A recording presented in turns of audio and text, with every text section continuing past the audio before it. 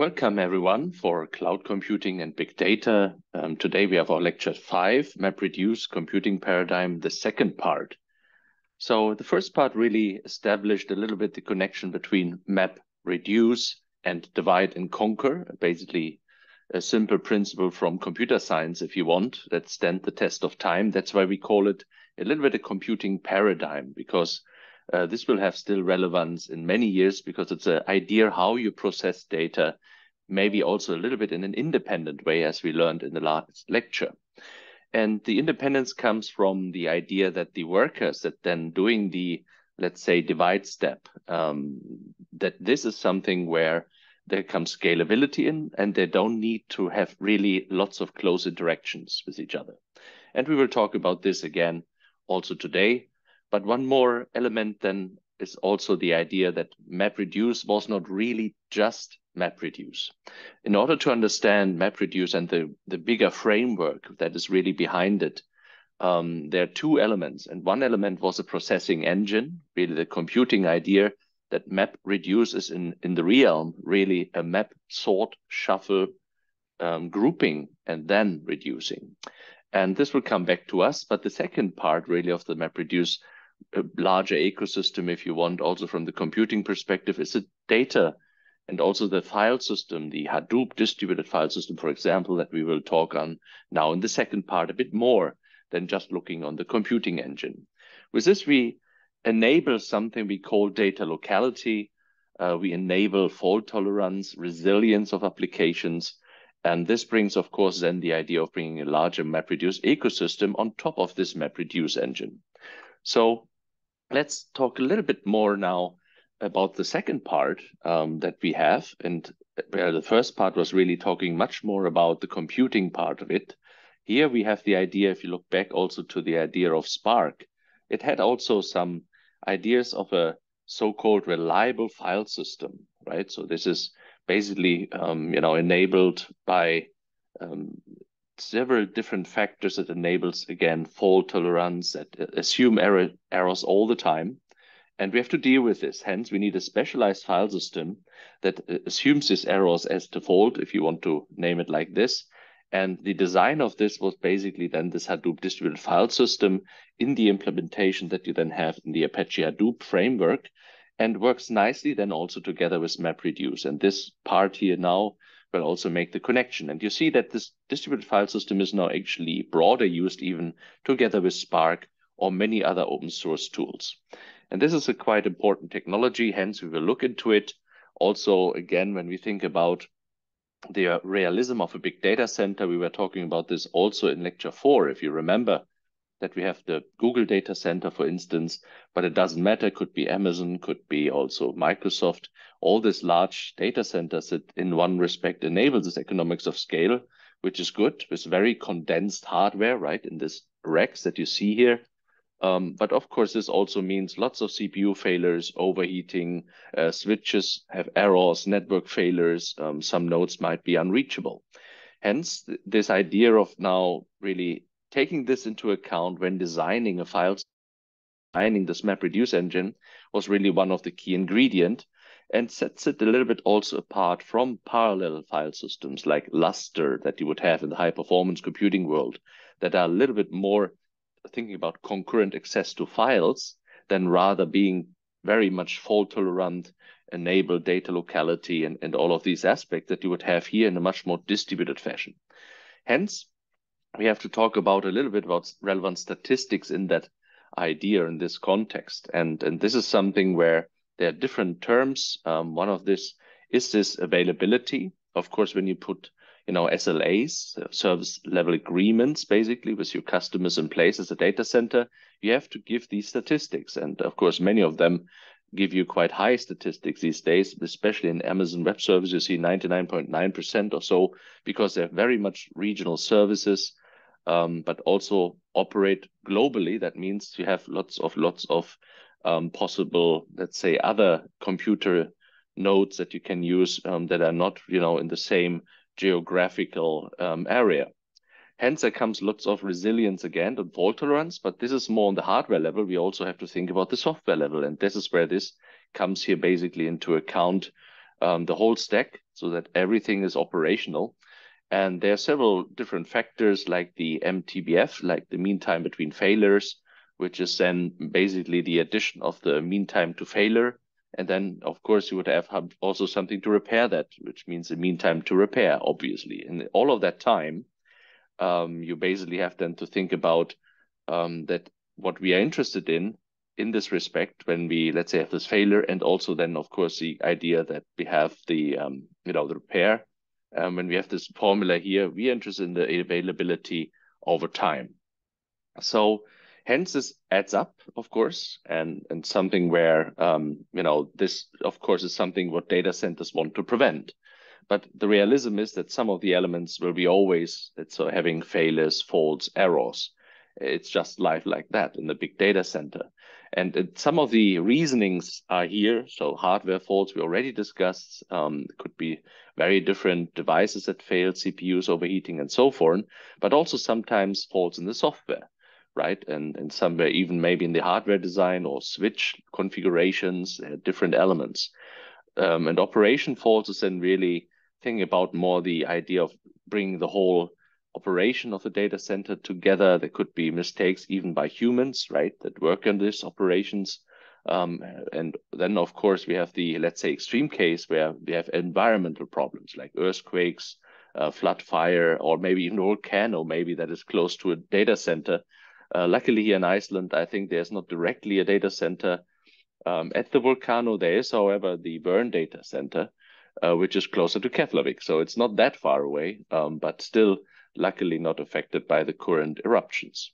However, um, another, let's say, element that usually we would spend a bit more time on in this course, but it's also part of more other, let's say, fundamental computer science courses at the universities are the RAID levels. So you have this redundant array of independent disks, which gives you different levels of really think about you know replication schemes um, think about you know how you put different pieces of the data redundant on different areas, uh, maybe again different disks, spread that to this different disks.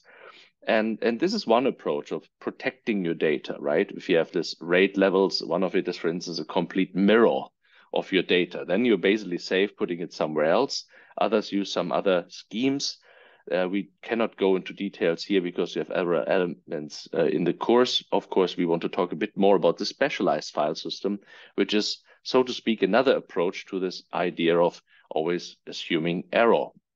Hence, the Hadoop distributed file system was designed uh, quite some old time ago. We already think about this, you know, paper here is like over 20 years now, but still is still relevant today. Um, of course, it has been a bit evolved over time, but the key principles are still the same. You also see the connection to what we had in the first part. We have the map phase with, you know, divide here and then conquer at the end is a reduce phase. But what we didn't look at was so far um, how the master is now assigning these steps and how, of course, then also the data locality is now a principle we have to look into account or we take into account, right? So we split the data um, eh, to different workers they then basically assign in the map phase their little, let's say, work steps on the data. Um, and the workers are placed basically from the master then close to the data sets. They do a local write of some intermediate files, could be, for instance, the word counts in many different files uh, as a very simple key value store structure, as you have re hopefully remembered from the last part. And then the, there's another, let's say, part of it, which is now the conquer step, where the master is now, re, you know, just reducing based on these remote reads that you would have from these intermediate files.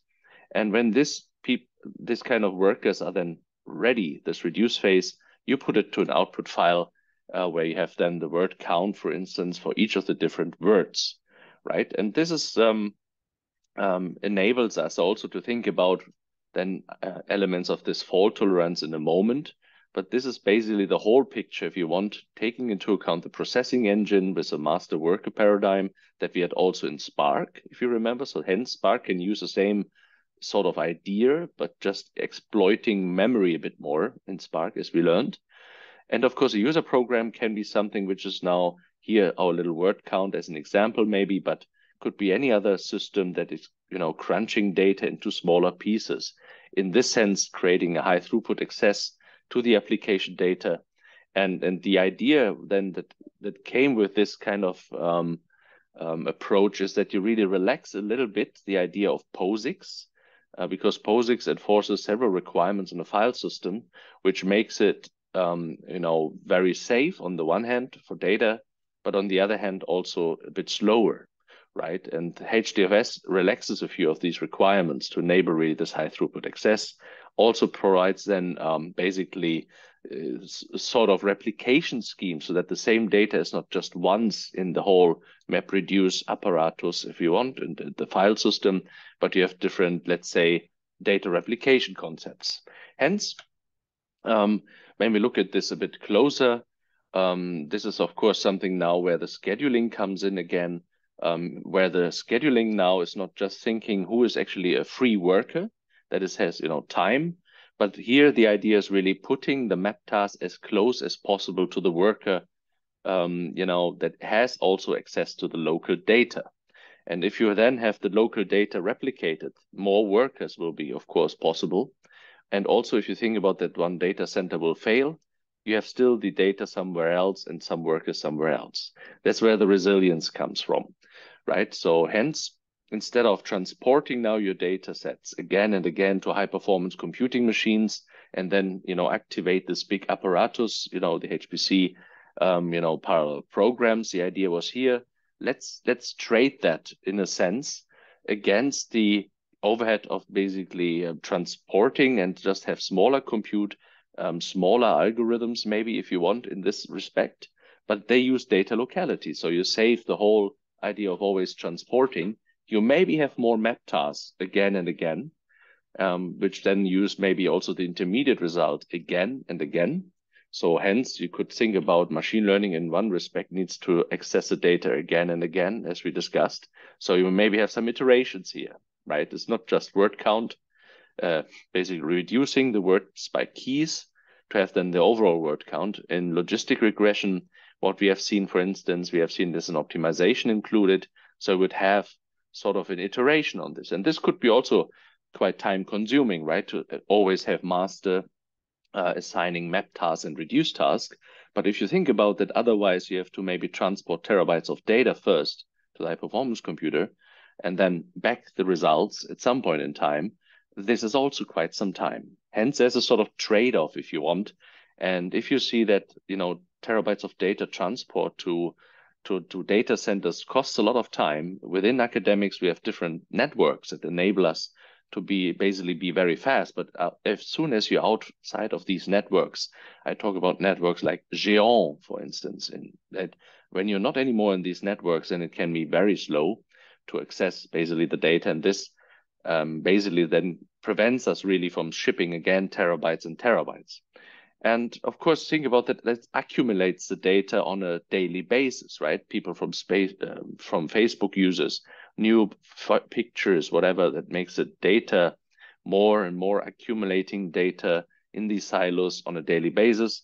So hence, shipping it once will not make the idea here. So we have to ship it on a daily basis again to the high performance computing to do some processing.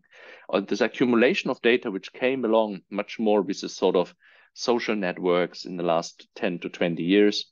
Um, this was also one rising factor then why MapReduce and why Facebook, for instance, also was looking into this, right? And Google uh, accumulating, you know, data from Google, the search engine and everything. So this is something also thinking about that the data transfer is here, of course, as best as possible, you know, um, not really done, of course, you can think about when you think now the replication concept, at the beginning, this distributed file system still has to transport data in the replication scheme, right? But this is done behind the, let's say, uh, really curtain in a way. So the users will specify how many times I want a certain data block, as we would call it here, replicated. You see this in a distributed file system. And then you have the different data nodes, which now are relevant for the data locality right? So while the map tasks need these data nodes to, you know, work on, we can now think of saying, here's a replication stream of three times, right? And this enables us now that when one disk fails, let's say, um, we can still go to another replica somewhere, you know, in this larger MapReduce cluster. And, and this is, of course, a configuration, right? The more replicas you have, the more throughput of applications you might get, the more fault tolerance you have. Of course, you know, the more cost you have as well, because you have the same data stored many times. Hence, you use storage, let's say here, three times. But then, of course, the trade-off comes with the idea of availability. So it's it's pretty unlikely that all of these will fail at the same time, right? Especially if you think about that these may be distributed. So really in different geographical um, regions, right? One might be in US, one in Asia, and one in Europe, right? Then you're sort of almost safe that so quickly nothing can happen.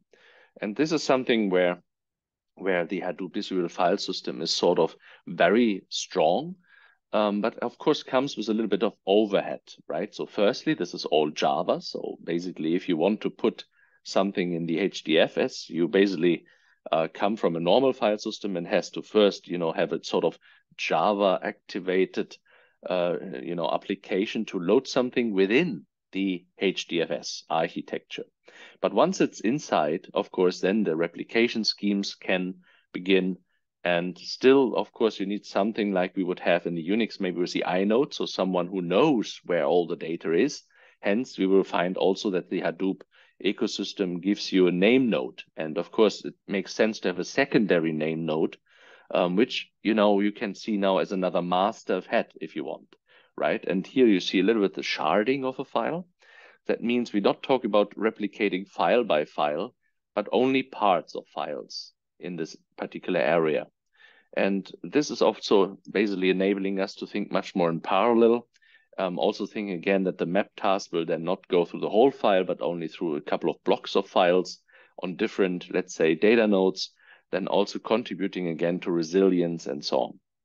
Hence, this is now optimized to be, you know, towards terabytes, and we have still have to see probably how it will then uh, actually fly with petabytes and maybe exabytes in the future.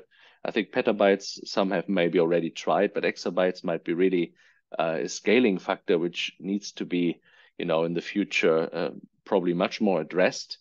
Um, also, what we can see is that many of the, let's say, people that have already these tons of data, they they don't use this for everything, right? They use the Hadoop distributed file system and the MapReduce engines usually for very certain tasks, like indexing, for instance.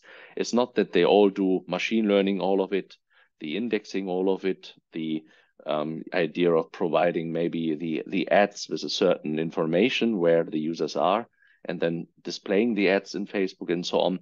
So usually you would see that this engine is just used for a couple of specific elements, and we will come to this in a moment.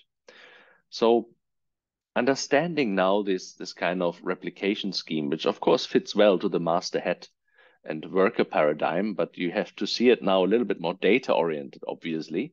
The name node will know where all of these blocks are. And this enables us then from the scheduler point of view to think, okay, the you ask the name node, where is the block one?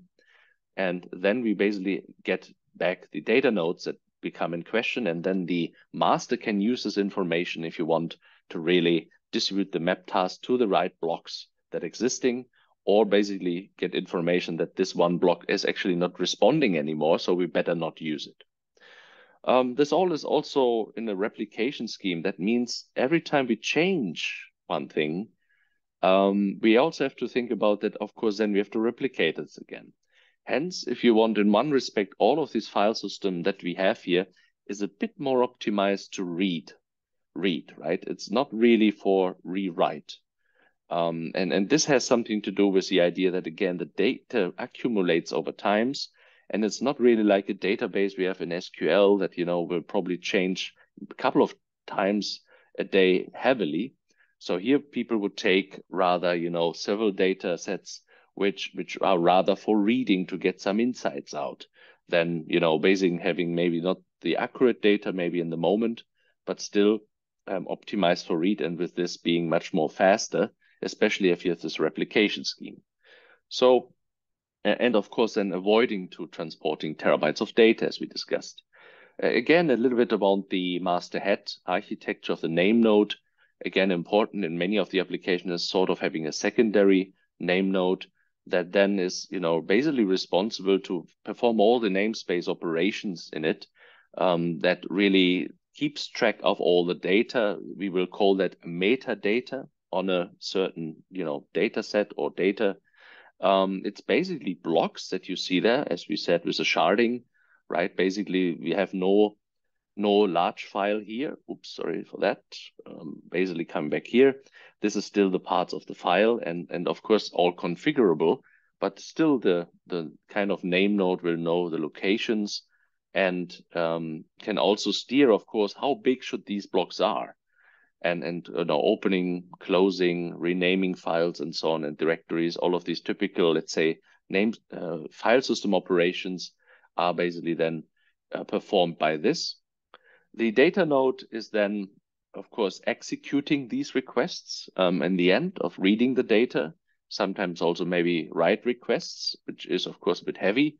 And then also replication that is in the end a little bit like in the in the back. So once you configured it, Hadoop will make sure that this is automatically done, right? What is another idea which is different from parallel file systems. For instance, in high performance computing, they don't have really this replication scheme automatically. You can do it yourself, obviously, but still you would replicate in a parallel file system within a HPC system, nothing else on being part of the same file system uh, at the same geographical region, you know, on the same supercomputer.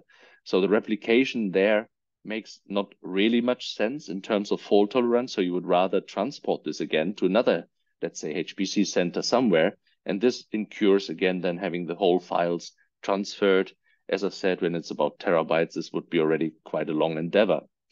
Um, especially when we think about that we're moving towards petabytes in many of the data sets, especially if you accumulate data like the social media data we have here. The good thing is, of course, this is quite scalable. So the number of data nodes you can imagine you can configure, like you can configure the workers um, and so on. So it's quite a flexible mechanism. Usually would have two head nodes, as I said, uh, very similar like you remember from the Spark engine right? When we were doing this in HD Insights, because the head is really key. It doesn't matter if, let's say, a data node fails and we have, you know, this marked as being fault and faulty and not used. But let's say if we have only one head oper as operation, keep track of all the data, and this one would fail, which can, of course, it's yet another, let's say, node that is a name node is for hardware irrelevant, right? So that would be no insight. So basically would say it could be failing a data node or a name node, so hence the need for a secondary name node is quite obvious to then enable really the fault tolerance. And that both name nodes will fail is of course in principle possible. That's nothing that says it can't. But of course also the, the kind of probability would be of course much less. And in a way you can of course think about of having more head nodes if you want. So how that looks like, if you look a little bit into it, the block replication in the data nodes, um, this looks a little bit like here, you have a certain file name in different parts. Um, you do do this also yourself when we do in a in our assignment two. If you remember, we are entering already our practical phase, which is oriented towards assignment two. So you will basically experience with this a little bit yourself. Um, and then you have different block IDs, as it is called, that then have these different parts um, of this data that you see here, for instance, in part zero and part one distributed in different, let's say, data nodes with different blocks. I think this concept is sort of clear. Um, I guess it's not really hard to understand. Also, I wanted to just give you a short um, point here again of one of the use cases of this HDFS in, in social media from Facebook, which is using then the Apache HBase, um, which is a similar idea. And, and this is also, let's say, something you can combine with Hadoop and basically then also make use of this HDFS. Of course, here, as I said earlier, it's not that Facebook uses just this. So take not the message away that, ah, oh, actually Facebook is just using Apache HBase, a little bit of Hadoop with the file system. That's absolutely not true. They have a very smart, let's say, um, different set of different uh, data um, approaches. And one of them is a graph database, for instance. Another one is a NoSQL key value store from Apache Hadoop, here this HBase. So, which is basically oriented towards read a lot, right? And you can imagine here posts, indexing, is a is something where you don't change the post. You rather want to indexing to index to know, you know, basically um, what is inside the post um, to really find it quickly. If you search for it, and if you of course have some operations, you want to update it uh, with the links to each other, not really changing the post, but really just the links. This could be all very helpful. Hence, it's a helper tool here for a very specific element where they have also, you can understand Facebook, quite a different set of regions of the data center. And you see here with HBase and also different regional servers that then, you know, basically have parts of the different files here. And they use this then for indexing. And we will explain a little bit more in lecture 14 when we talk about we talk a bit a bit about the concept of the NoSQL key value stores. While they've grown very popular these days, um, that's why basically you can have almost a whole university course just on this, uh, or maybe combined with SQL and typical relational databases to see the differences, right? So NoSQL um, key value stores are really optimized again for reading and have not this kind of plain schemas usually that you have in the relational databases. But we will talk about this a little bit when we come to lecture 14. Otherwise, of course, I have to think about um, that this is something rather for a database course. But here you see also the, the big data challenge, just to make the point that, of course, it makes sense, not make sense to do this for your little MP3 collection with a couple of gigabytes, but for someone who has to index around 700 terabytes, this is quite something to do. And if you think about that, also the data accumulates all the time in Facebook, people using it on a 24 7 basis internationally. You can imagine this data is growing and growing and growing. Hence, we need something which is really then you know, fault tolerant because otherwise we wouldn't like Facebook if our data will just disappear, right? We spend lots of time to make all sorts of posts for business, but maybe also privately. And suddenly the post disappears because, oh, sorry, you see here one disk failed. And Facebook comes back to you soon and well, it says basically, well, thanks for using Facebook, but somehow your post get lost. Um, we would be not happy. Hence, you can imagine this fault tolerance is also a business factor, right? The reliability that we had discussed a little bit, the dependability of users really for businesses, you know, basically using also Facebook ads. You will notice that Iceland is actually using Facebook quite heavily for event management, right? Many people have just Facebook events to understand how many people are interested, how many people are going. Um, and all of that is sort of a factor that basically now comes into the usability of all of these tools. On the other hand, of course, if you think about now Facebook, um, also need an easy management on all of these different operations, basically because they're so large. They need some software that is doing some things automatically. Having now someone who is doing, you know, the indexing manually and analyzing this, and then basically has not a, let's say, engine underneath that makes it very quickly possible to go basically across a different region with a distributed file system to execute this map and reduce task, to do some small ind indexing, could be even word counts, right? To understand how many words or what words are basically in what posts. So this is something where um, these easy management comes in, combined, of course, and with the idea of this uh, fault. Now, revisiting something like this, now we have better understanding now when you think about Apache Hadoop and Apache Spark, what we had in lecture three, why essentially, um, you know, Spark is so much faster. There's still a HDFS read um, that also Spark has to do to get the data, which is sort of slow. We're reading here from a file system, right? But instead of writing now, for instance, in logistic regression here, this iteratively the same data, right? Touching it, working on it on the optimization, write in uh, intermediate results. Then we have to read again the intermediate results, you know, map reduce, write it, read, write, etc., etc. This is all slow using HDFS. Of course, it's fault tolerant and all of that and very distributed, but still not using the memory is basically then here the, the tough challenge where then Spark, you know, is much better of reducing the amounts of HDFS reads really. And also if you think about some of the intermediate results in a logistic regression, for instance, where many of the things are just weights or coefficients, right, of the idea of the logistic regression model, then this may be fit even to memory. You, you can avoid to write to the disk completely.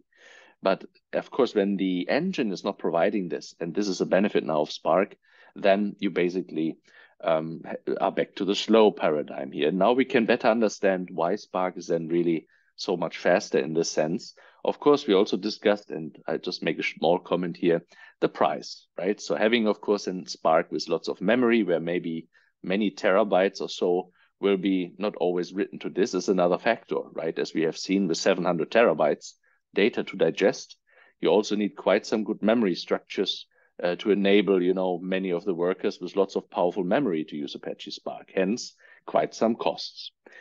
So hence, it's again, of course, a trade-off.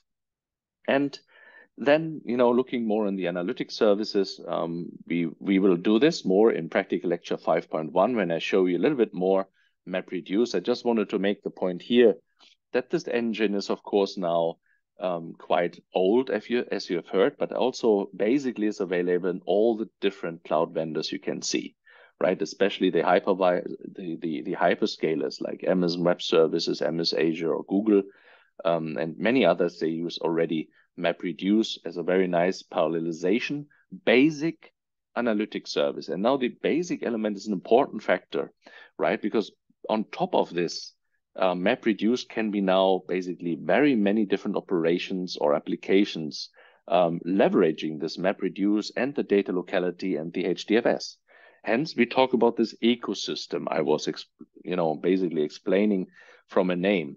You see that all of this is basically now here the Hadoop engine with a very, let's say, central idea of the parallel task execution. And the other part we have with the HDFS giving you a kind of efficient and reliable data storage, right? So this sort of is the same of the Hadoop engine. We have already discussed that there's a smart NoSQL database, right? HBase, uh, which you can combine with, you know, basically the idea of operating then with MapReduce tasks and also accessing as a NoSQL data store then data that is an HDFS file. That would enable then more applications. For instance, you can combine it with Mahout, right? Machine learning and data mining, that basically through this stack is also able to leverage MapReduce and HDFS. Um, there's metadata catalogs. We already used Hive a little bit, if you remember at the beginning. Uh, there's a script possibility that all leverages and map and different reduce tasks. In other words, these uh, frameworks have already several different implementations of a map and reduce task that always has to be performed again and again for other applications that actually use Mahout for, for very specific, let's say, domain-specific applications, right? Same is here with relational data, with Sqoop, Flume for data streaming, and so on. And you see that also when you look into the cloud vendors. Uh, here's a good example, Google Cloud, you know, our elephant from Hadoop is very much close to the possibility of combining it with Apache Pig, Hive, the SQL scripts, but also, of course, with the Spark engine right? And other tools that we already learned a little bit about, Kafka, for instance, and there are many different, they all called all usually like this open source analytics frameworks, right? So although Hadoop is kind of a core and the data, you know, the data and file system as well with Spark and also nowadays um, being very popular because of the memory usage and fast, uh, you see that many of the others like HBase is really an interesting tool and, and Hive, of course, many data sets are still today, of course, very much in SQL databases. So you need for processing and to get something out of a data set in maybe original SQL and put it to a, let's say, this framework here, you need also interesting, let's say, connectivity, which you can use then with Apache Hive to go from the SQL traditional way to do it really distributed here in terms of processing. Let's say fueling a logistic regression as we have done before, uh, with some, you know, data sets.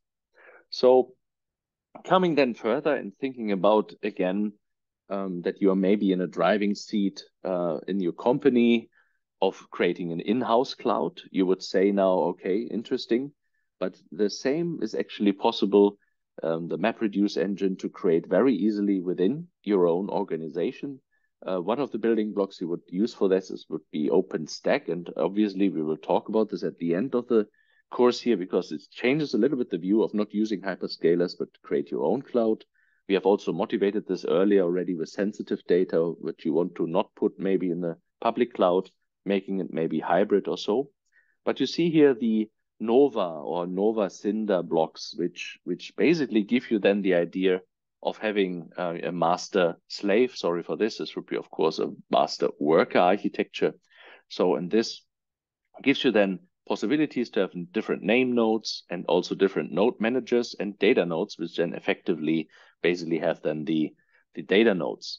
And, and these are tools we will discuss. It is just for you now as a sneak preview to say that you basically can create a, a distributed Hadoop setup within your company, uh, maybe across different regions, different headquarter or elements, you know, from different um, positions of the family, uh, from the different um, owners of the different companies, um, whatever it is, what you have in terms of distribution, right? In the company, a data center here, data center there, you can create your own distributed setup on this using OpenStack.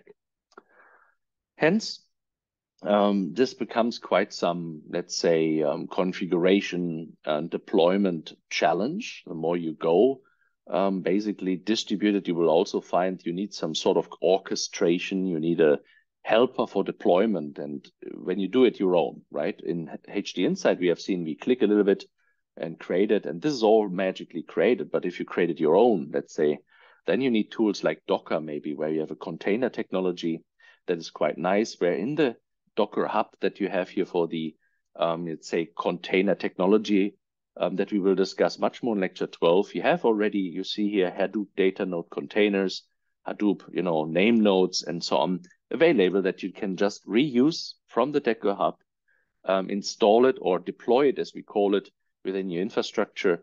And then you have already the just the configuration to do and everything is already installed. The idea also of then orchestrate how many worker nodes you have, how many name nodes you will do, etc. The data nodes, you can also use Kubernetes, kubelets, and so on, uh, which makes it then a little bit a big, more automated and a bit more bigger, right? So you that would be something that you really then for larger installations. But you will also see if you go to the Google Cloud, for instance, many, many of the, uh, you know, Google uh, of the of the large cloud vendors, so to speak, are using these technologies. So towards the end, however, of this lecture, I just wanted to leave on the table that although I teach now MapReduce is a good idea, especially if you think about the automatic sort shuffle, you know, and grouping, which is happening in between based on this key and then the key value store structure. So this is, of course, beautiful, but it's also important to understand that there are certain limits, right? That not every problem can be solved with it. Hence, you need still high performance computing, for instance, right? For instance, uh, I brought here some some different examples. I think if you have Amazon online retail sales, and the the problem that the sales, you know, people, you know, doing the sale or basically you know buying something um, on a you know minute basis. That means a lot of lot of updates on the product databases, right? For each of the different actions, even if you search something, it will be remembered, or you put something uh, somewhere you know in in the bucket for buying later. So um, it changes a lot um, the data, but um, it's basically not really calculation, right? So in this sense, um, this is something where um, you know this is you know something where you would not really do MapReduce for everything on this kind of idea and maybe store the data still here and there in other databases. But of course, then for analyzing it, like buying patterns, you would take a snapshot and, and then put it to the MapReduce engine for certain analytics. Still, you would have maybe a proper product database with updates and so on of usage and so on another example might be machine learning methods, which really gives you now the idea of iterative um, challenges, right? We discussed it a little bit when we thought about the memory versus non-memory memory usage in Apache Hadoop. If you remember, the idea of every time using the same data and then have iteratively map reduce again, shipping the same map reduce task again and again and again to it. And in a way, you will learn later in lecture six and seven um, deep learning, particularly, is using a lot of these iterations, right? Out average updates of the um, uh, of the trained weights, for instance, in every little step. Hence, this would be very hard to perform deep learning, uh, basically in, in a distributed fashion. It is possible, but it would be very slower than, for instance, leveraging cutting edge high performance computing. Hence, you will see that many of the machine learning tools these days, especially deep learning, techniques we will explore later in the course require really high performance computing in the sense of even, you know, going across different nodes using different GPUs and so on, which is another factor of it. Think about that deep learning is fueled by GPUs as we learned in the earlier course parts, and we will explore more in lecture six. Here to basically then use iterative MapReduce would be quite an overhead and not really good. Distributed deep learning rather lives from something like PyTorch DDP or basically have TensorFlow combined with Horovod, what we will discuss uh, also in lecture six, seven, and so on. Hence, um, the, the typical MapReduce has limits, right? For instance, an iterative MapReduce would be beautiful. Um, and you would use that for logistic regression, for smaller machine learning algorithms, for maybe decision trees, for basically also uh, alternative least squares or other algorithms that fuel a little bit recommendation engines. But you have to take the message that um, you know numerical solvers um, that maybe are also key ingredients of many of the physical applications we have right so that are based basically on known physical laws using numerical methods um, or optimizations and, and solvers um, these will be not very simply to be transformed to map reduce engines right they communicate a lot we have the examples again of you know, you can see the ocean simulation here. We do also in the high performance computing course, for example, but also think about weather prediction.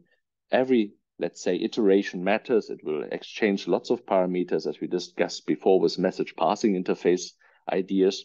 Much more low level communication. So that means definitively then, um, of course, you lose a lot of this, you know, simpliness um, that we have here, right? So of course, in, in MPI programming, you really have to address the different cores you want to talk to and so on. So it's much more low level programming, but then of course enables you different applications. Hence, they will coexist in, in my, in my view, a long time. As I said earlier, the HPC and HTC that we have rather here in, in MapReduce, it will be a paradigm that stand the test of time also of the next decade and, and probably even more. What will change is maybe then the view how computing is done in quantum rather, right? So quantum computing puts a new element in it. Um, so that's quite interesting for you maybe to explore in the next 10 to 20 or 30 years what quantum computing will bring us.